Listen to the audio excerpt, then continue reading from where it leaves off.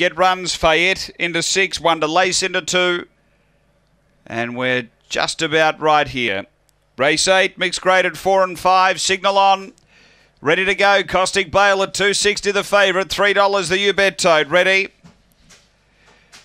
And away. And there's speed toward the inside from Rupert. Oh, have a look at Emily Senorita getting busy and Ultima Bale in between them. They go hard early. Emily Senorita crossed over and got away by three to Rupert. And next is Ultima Bale. Straw Hat Luffy pushing through. Then Fayette Wonder Lace from uh, Doveton Bobo and Caustic Bale right out of it. Off the back, the leader is Emily Senorita, but Straw Hat Luffy runs on. Then came Rupert. They're up to the turn. Emily Senorita led. Straw Hat Luffy back to the rail. Straw Hat Luffy, Emily Senorita.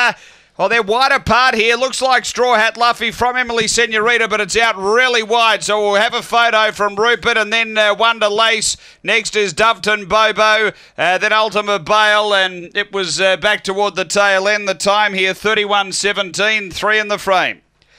So it's 3, 8, 1, and 10. Number three, the winner. Straw Hat Luffy, the late mail at good odds. Uh, Wendy Madcott, Peter Y. Uh, Black Dog, August 2013. Chiranza Bale, Cara Bale. Number three first. Straw Hat Luffy. Second to eight, Emily Senorita. Uh, Judy Hurley, a Brindle Bitch, March 2012. A Grand Signor, Emily Charmer. And third to one, Rupert uh, for Adam Manton. A Black Dog, May 2012. Heston Bale, Annie Laurie.